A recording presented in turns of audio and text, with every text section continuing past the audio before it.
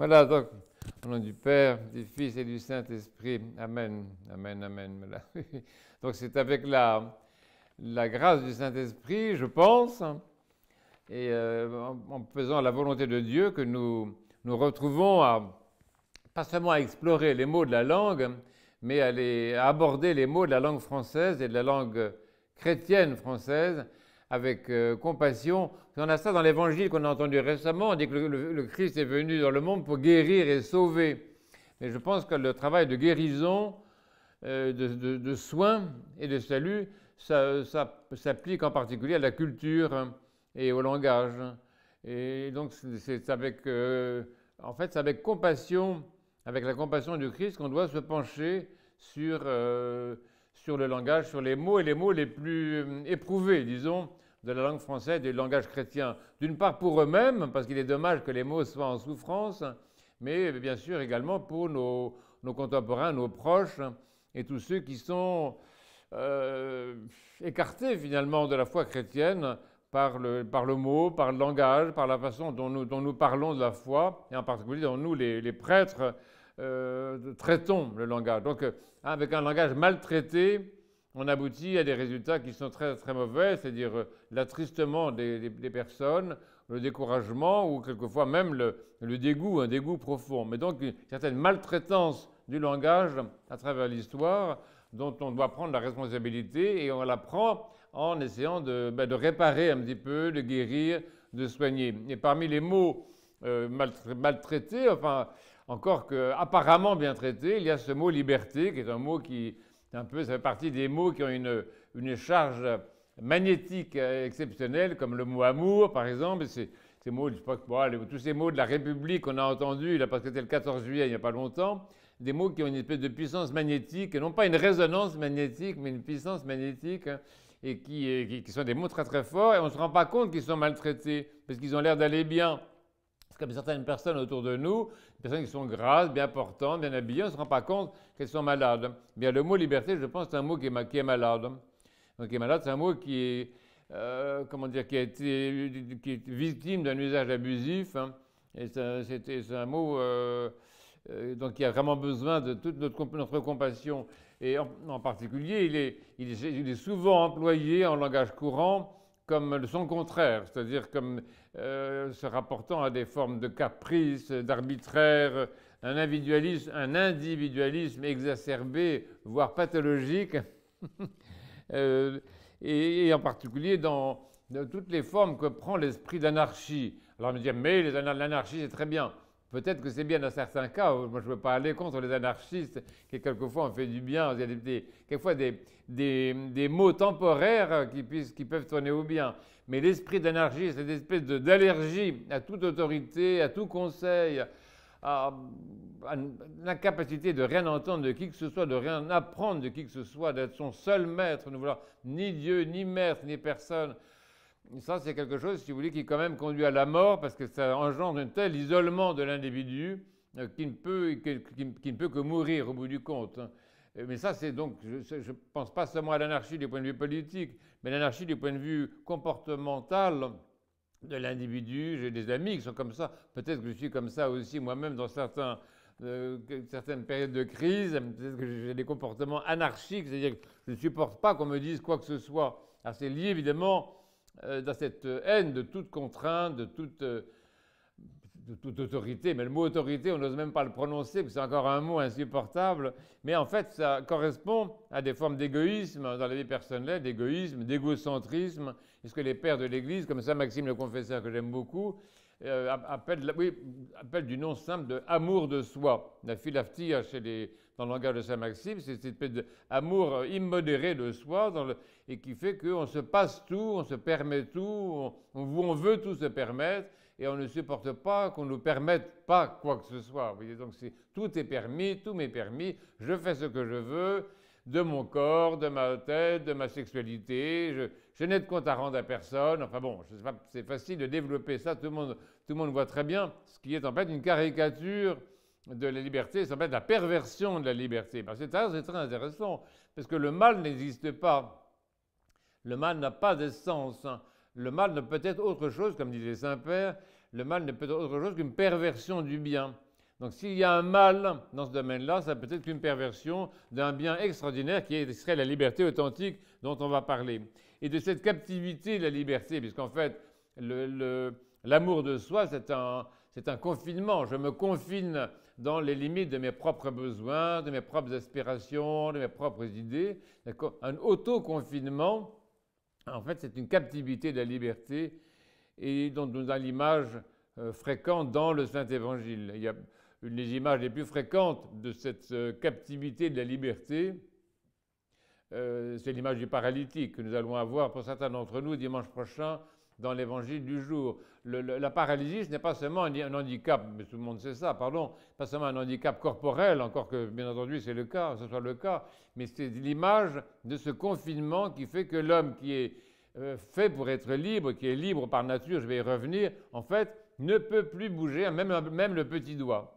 J'ai une amie qui a une maladie euh, terrible, euh, que je vais, je la voir quelquefois pour lui porter la communion, encore qu'il est difficile de lui faire prendre la communion, tellement elle est, comment dire, tétanisée par sa paralysie.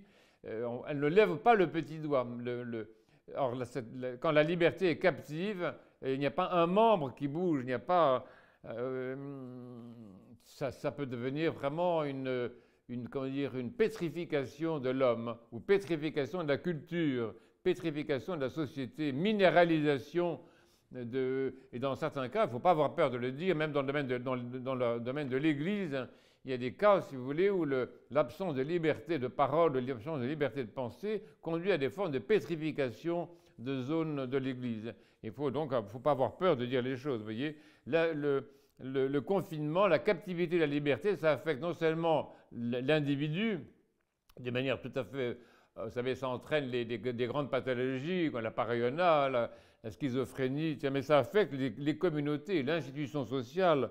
On sait très bien qu'en France, on a un mal fou à vivre la démocratie, c'est une grande, grande, grande, grande difficulté, qu'il y a même probablement une crise profonde de la démocratie, qui n'est pas seulement liée au discrédit, comme on dit, discrédit des institutions, mais qui est lié au fait que nous n'avons pas une vraie expérience euh, de la liberté. Nous avons une, expérience de la liberté qui est quand même très superficielle, très psychique et qui est souvent fondée sur un contresens, c'est-à-dire une liberté dit je fais ce que je veux, c'est-à-dire un individualisme porté à son paroxysme. Et dans l'institution ecclésiastique également, il ne faut pas avoir peur de dire qu'il y a certaines formes de cléricalisme dans notre Sainte Église des formes de cléricalisme, des formes de, je ne sais pas comment dire, une pesanteur d'institution, une, et, qui fait que, tout le monde n'a pas la liberté de la parole. Il y a des prêtres qui n'osent pas dire ce qu'ils pensent, il y a des évêques qui n'osent pas dire ce qu'ils pensent. Il y a, des, situations où, voilà, on, a des, langages de bois. Je ne parle pas dire, d'une captivité, par exemple, comme on a connu, nous avons connu à l'époque euh, bolchevique où on pouvait avoir peur d'une institution politique tyrannique, mais c'est à l'intérieur même de l'Église qu'on peut avoir simplement peur de dire ce qu'on pense euh, devant son évêque, ou dire ce qu'on pense devant les autres évêques, de dire ce qu'on pense devant son prêtre. Vous voyez, des, formes de...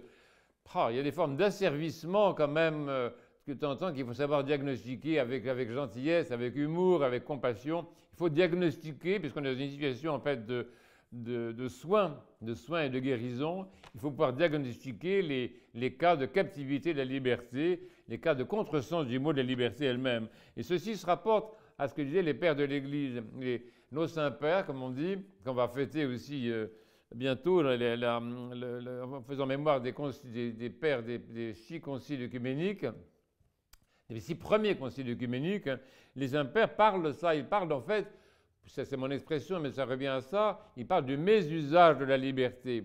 Il y a en fait quelque chose qui fait que, comme je ne sais pas me servir de la liberté, ou que je ne veux pas, enfin bon, il y a ne pas savoir ou ne pas vouloir, on va, on en reparler, eh bien c'est de la liberté qui est un don initial, peut-être perverti et euh, déformé. C'est Saint, euh, Saint Macaire, Saint Macaire le Grand, qui est un très grand, très, très grand spirituel, très grand théologien mystique, il dit ça, par exemple, il dit, de même que Dieu se détermine lui-même et fait ce qu'il veut, ainsi tu te détermines toi-même, fût-ce si telle est ta volonté, pour te perdre.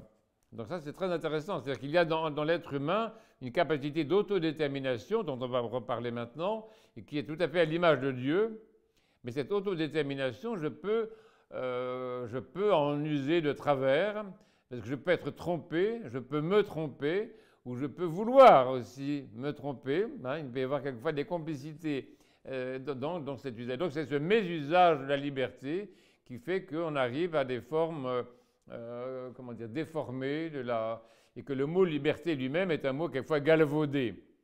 C'est ça. Alors vous savez que c'était Saint Paul qui est un très grand, très grand, très grand théologien mystique, un des premiers très grands théologiens mystiques avec Saint Jean. Saint Paul emploie cette expression-là. Il dit non pas tout est permis, ce qui est une très mauvaise traduction, mais j'ai toute liberté. Il annonce ça, c'est étonnant. Et c'est là qu'il, vous savez, il dit j'ai toute liberté, mais tout n'est pas permis, le fameux passage. Mais ce n'est surtout pas tout m'est permis. La, liberté, ça n'a aucun rapport avec une permission ou une interdiction. Ça, c'est justement quand elle est pervertie, quand elle est galvaudée, quand on ne sait plus ce qu'elle veut dire, qu'on entre dans la dialectique du permis et de l'interdit. En réalité, et c'est ça mon deuxième, le deuxième point que je vais aborder, dans l'anthropologie des pères, on rappelle que la liberté est en, comment dire, constitutive de la créature humaine parce que la créature humaine est constituée à l'image de Dieu et pour ressembler à Dieu. Donc il y a la liberté, ce n'est pas une option, ce n'est pas quelque chose qu'on donne en plus de ce qu'on a déjà. Euh, comme une sorte de concession, on va vous accorder la liberté, comme on fait pour certains peuples. Ça, ce sont vraiment là aussi des formes perverties. Non, la liberté, c'est constitutif, c'est naturel. L'homme est naturellement libre parce qu'il est naturellement à l'image de Dieu et que Dieu est liberté, si on peut dire.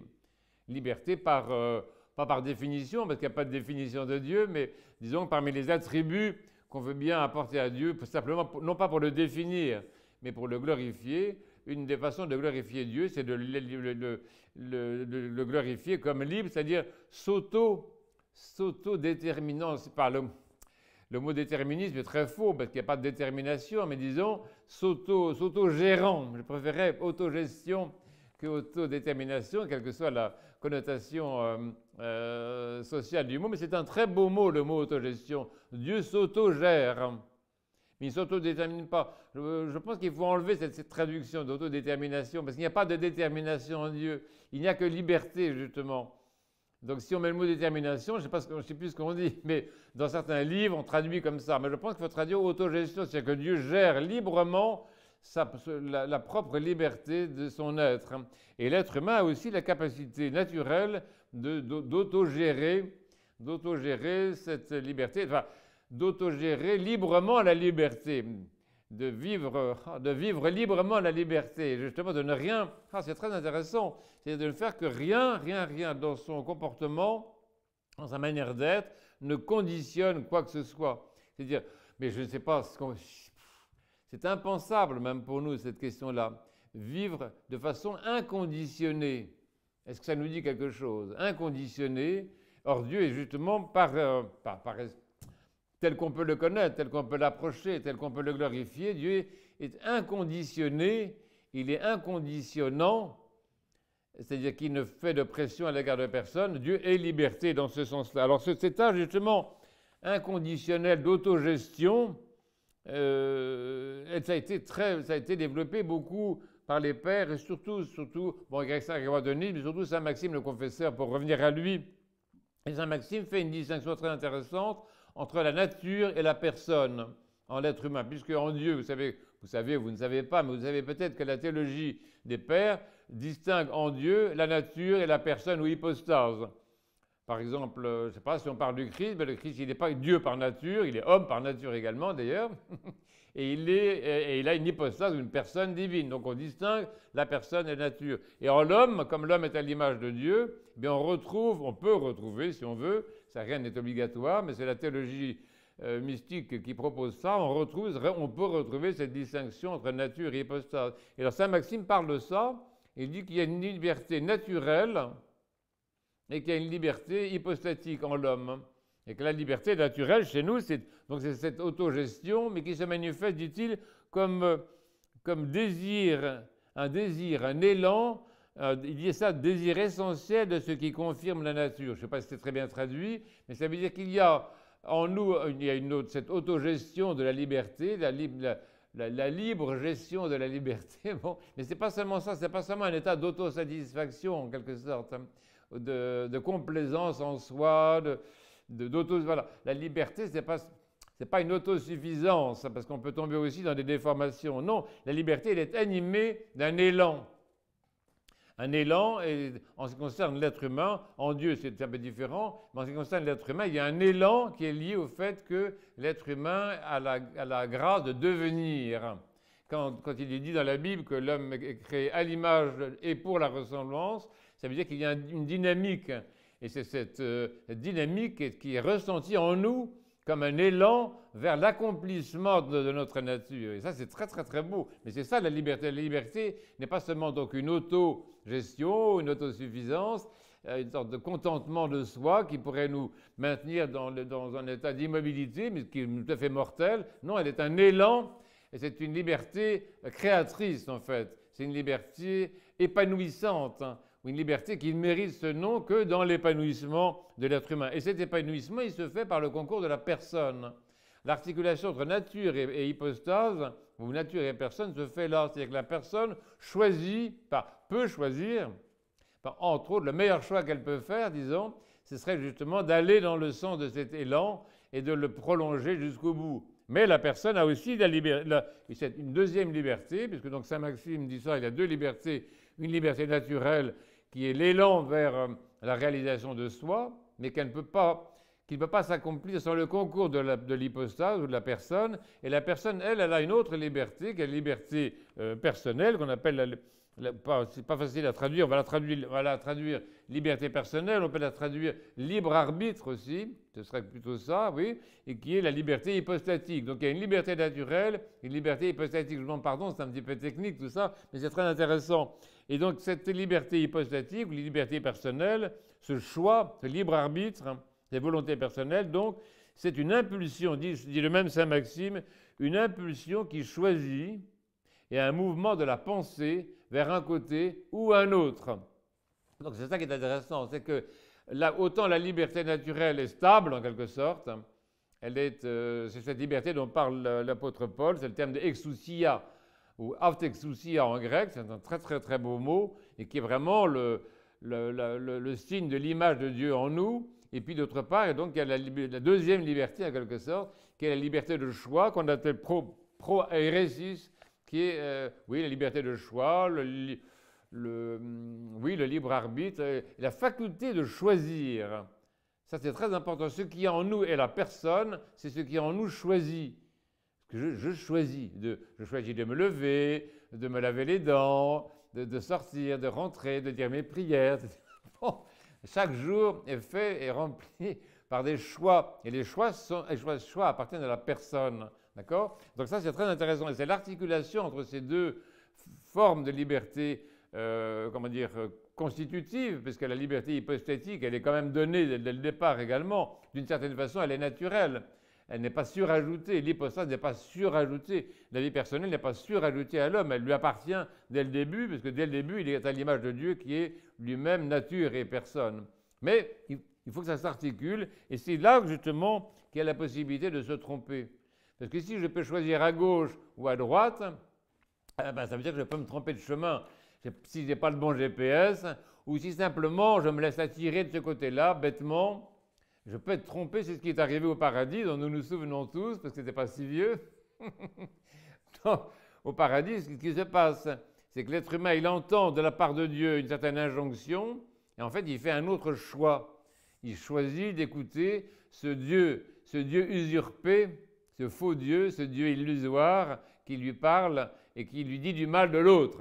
Hein, c'est-à-dire que euh, ça, c'est vraiment typique. ce qui se passe dans les premiers chapitres de la Genèse, c'est typiquement ce dont parle Saint Maxime, c'est-à-dire euh, la liberté hypostatique, la liberté de la personne qui fait un choix et qui se trompe dans ce choix parce qu'elle est trompée.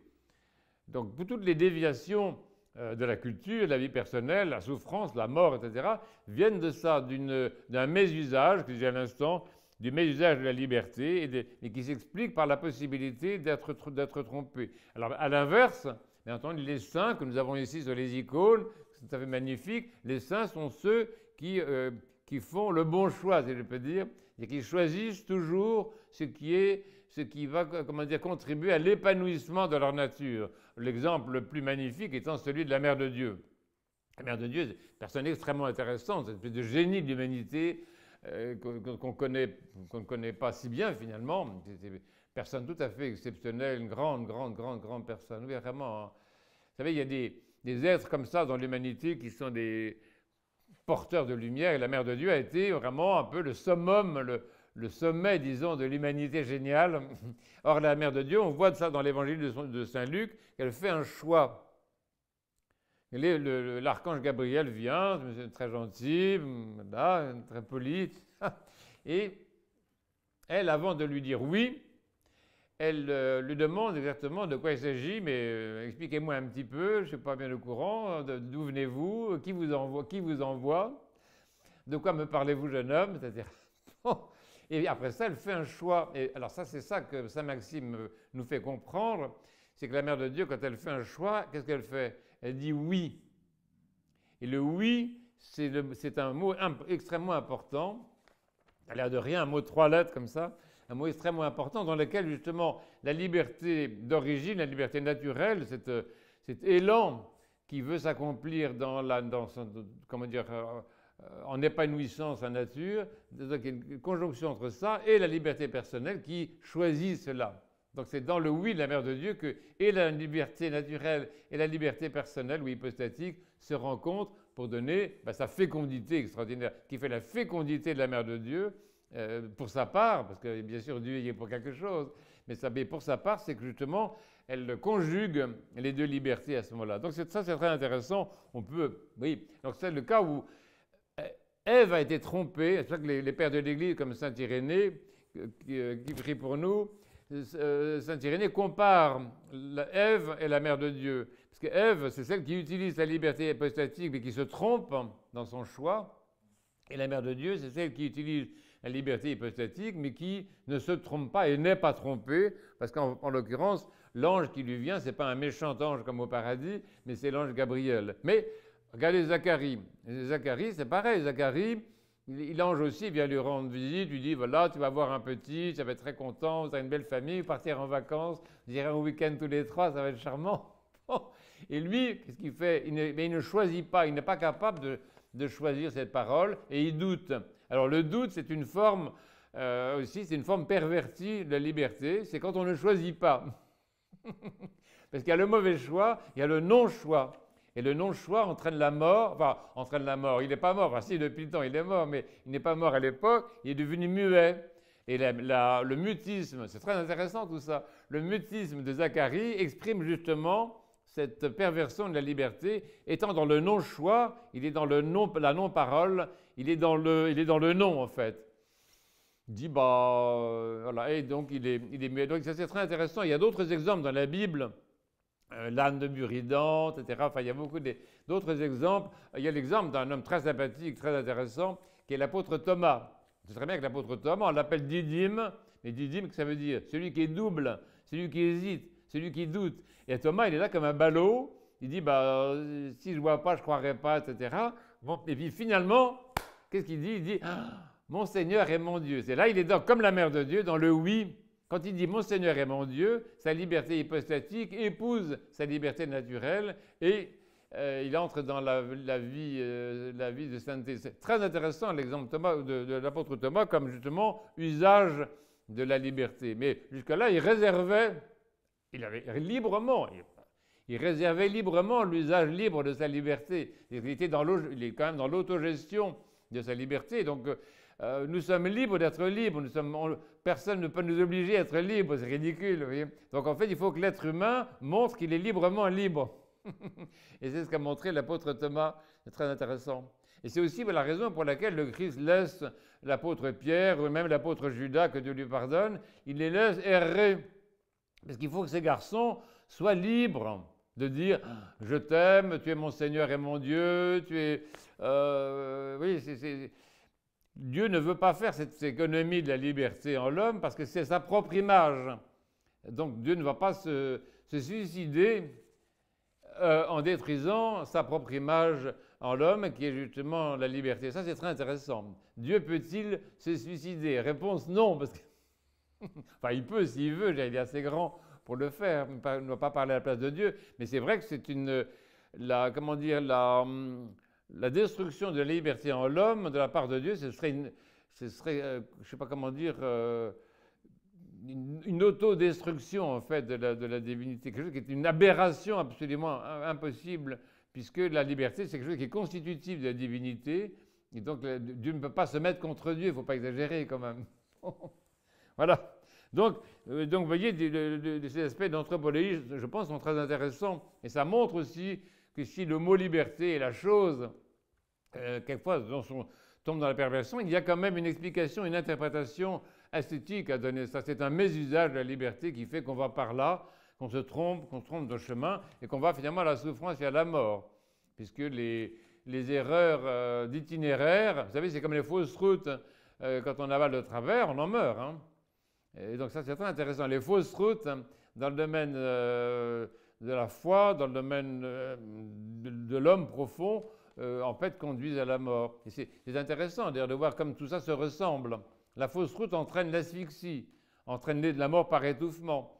Et le, confinement également entraîne la mort par étouffement. Dans toutes les formes euh, de, comment dire, de, toutes les erreurs dans le domaine de la liberté conduisent à des, formes de mort par, par asphyxie qui sont, extrêmement douloureuses, extrêmement, extrêmement pénibles. Alors après ça, il y a un, troisième point que je voudrais aborder quand même, qui est le mystère, que j'appellerais le mystère de l'Église quand même. Alors vous allez me dire, attends, ça pas venir avec le mot Église, personne ne veut de ce mot-là, enfin j'en ai, déjà parlé. Le, Christ, oui, l'Église, non, enfin ça c'est vraiment partie des mots difficiles à employer, mais comme je l'ai déjà nettoyé, celui-là, je l'ai déjà restauré, je me permets de l'employer. Or l'Église est le lieu de la restauration de la liberté. Il faut avoir quand même le courage de dire les choses, on n'est pas là à tourner autour du pot, l'Église est le lieu de la restauration de la liberté. Pourquoi? Parce qu'elle commence par le baptême.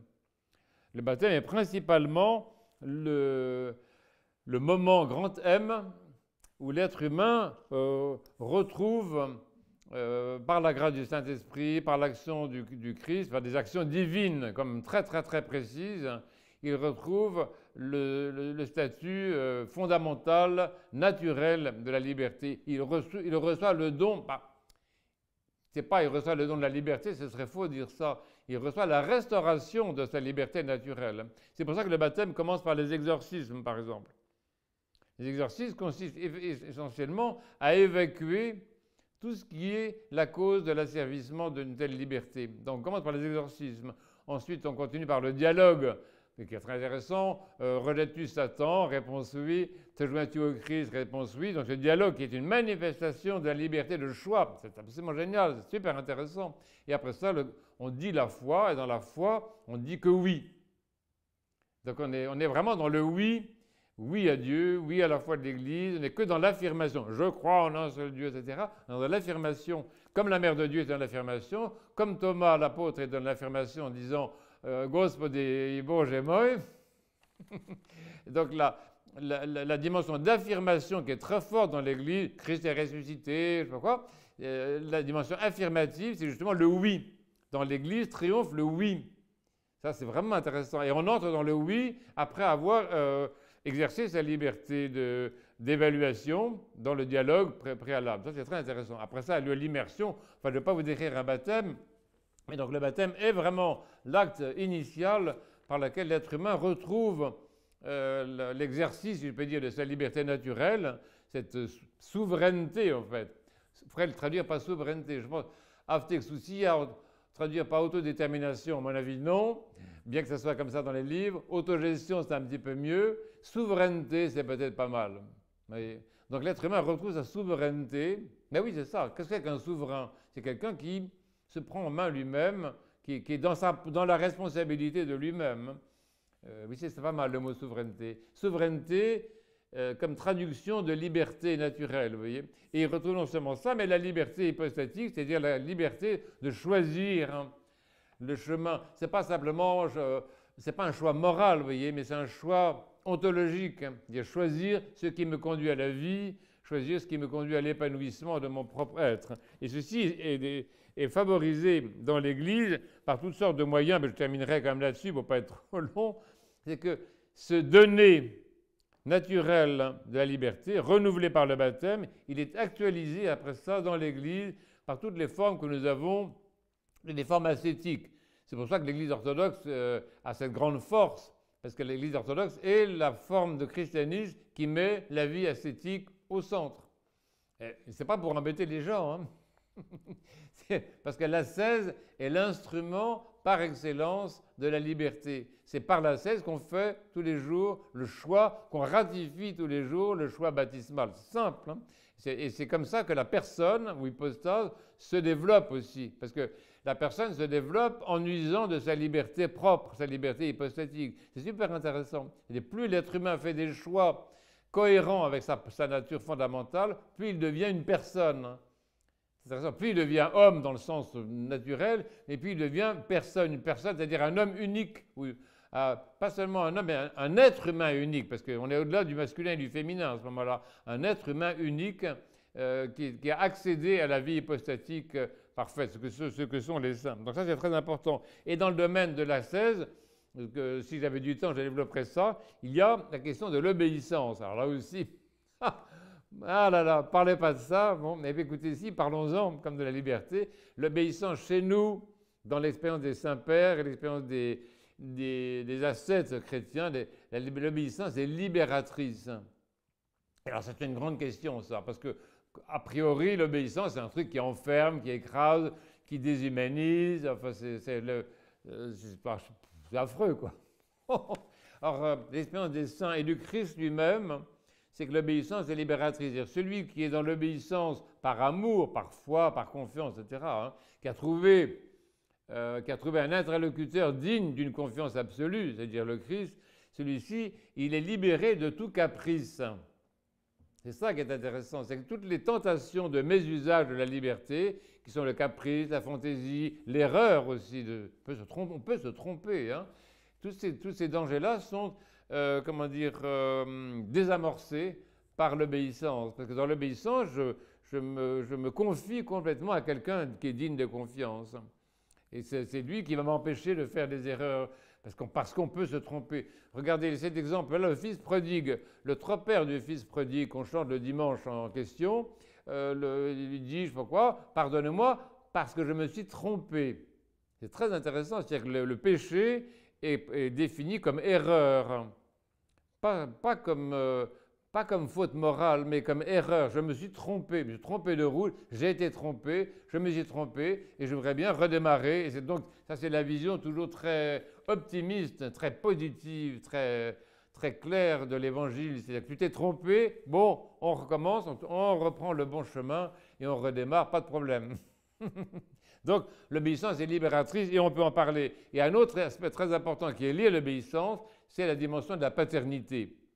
L'Église est le lieu où la paternité de Dieu se manifeste à travers le ministère de la paternité, qui est le ministère épiscopal principalement, et, ses, ramifications. Et ça, c'est très important, parce que c'est la paternité qui permet à la personne de, de s'épanouir, de se développer. C'est ça qui vraiment euh, qui permet à la personne d'être dans l'obéissance, qui permet de faire confiance, qui permet de se sentir aimé, de se sentir guidé, euh, accueilli. Et le, Père est celui qui donne le Verbe, qui donne l'Esprit, c'est-à-dire qui donne la parole juste et qui donne l'inspiration juste. Tout, père de famille, tout père, euh, euh j'aime pas le mot spirituel, tout père,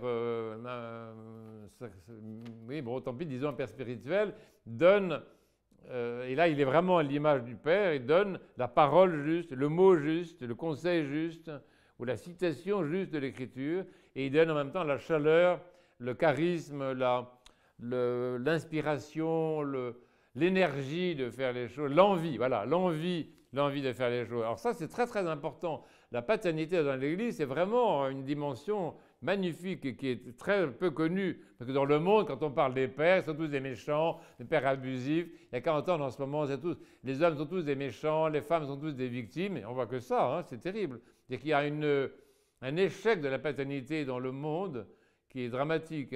Et dans l'Église, nous ne sommes pas toujours très bons non plus.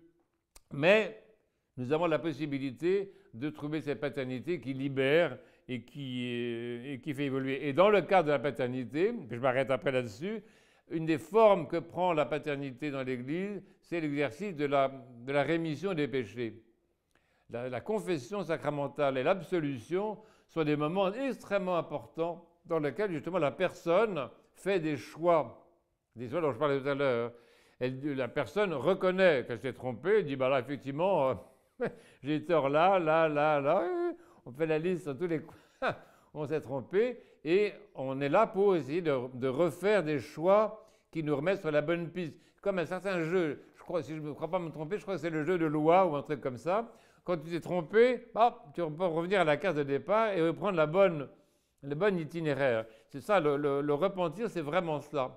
Dire, je me suis trompé et ça me fait mal de m'être trompé, d'avoir perdu mon temps, de, m'être éloigné de Dieu, enfin toutes les formes de, de, comment dire, douloureuses que peut prendre le repentir, qui sont très importantes. Hein. Et je reviens et je, je, reprends, je reprends le bon départ. Ce que fait le fils prodigue. Quand le fils prodigue revient à la maison paternelle, il retrouve sa place de fils, on lui met un anneau à la main, etc. Il retrouve, il est, il est, comment dire, il est réinvesti dans sa place de départ de fils. Enfin, il redevient fils. C'est très intéressant. et il va reprendre un départ euh, pas normal, si vous voulez, c'est pas un problème de normalité, mais c'est un problème de vie. Ce qui nous intéresse, c'est pas d'être normaux, ou d'être conformes à ceci ou cela, c'est d'être vivant. Le Christ, c'est celui qui est vivant et qui rend les autres vivants.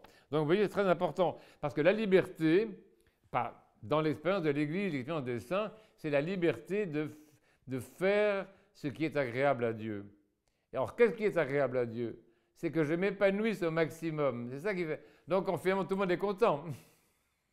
Je ne vois vraiment pas où est le problème. Si faire, si faire la volonté de Dieu était contraire à ma nature, ce serait absolument frustrant, castrateur, enfin, tout ce qu'on dit, etc., de la, des perversions de la religion. Mais dans la mesure où ce que Dieu veut, c'est mon bien, plus je fais sa volonté, plus je suis heureux, plus je m'épanouis. L'être humain s'épanouit complètement, se dilate complètement en faisant la volonté de Dieu. Et c'est ça la vraie liberté, oui. C'est-à-dire, ce qui arrive au paralytique quand le Christ lui dit Prends ton grabat et marche.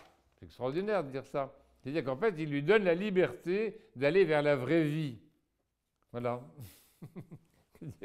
que, Dieu, nous aide.